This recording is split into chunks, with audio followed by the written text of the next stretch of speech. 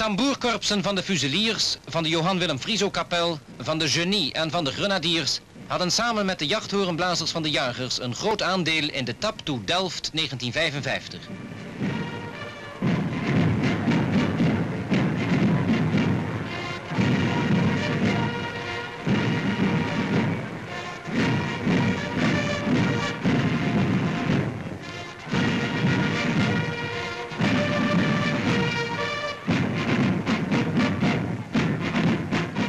Vanaf zijn voetstuk zag Hugo de Groot, die naar de rand van de markt verhuisde, hoe de tamboers der grenadiers en de horenblazers der jagers in elkanders muzikale prestaties opgingen en weer hun eigen weg vonden.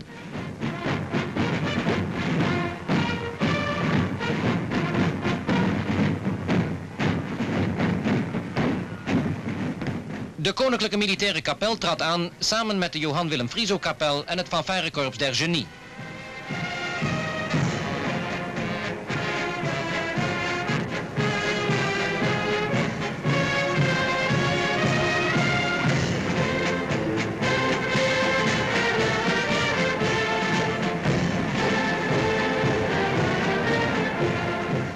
Op rubberzolen gaf een 50 man sterk detachement van de Koninklijke Luchtmacht zonder enig hoorbaar bevel een feilloze exercitiedemonstratie.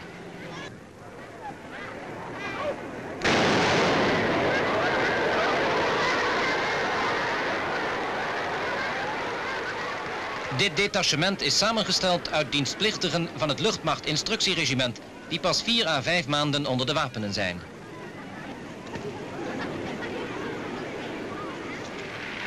Deze tap toe 1955, uitgevoerd door negen van de beste Nederlandse militaire muziekkorpsen, overtrof zowel in klank als aanblik de Delftse tap toe van verleden jaar.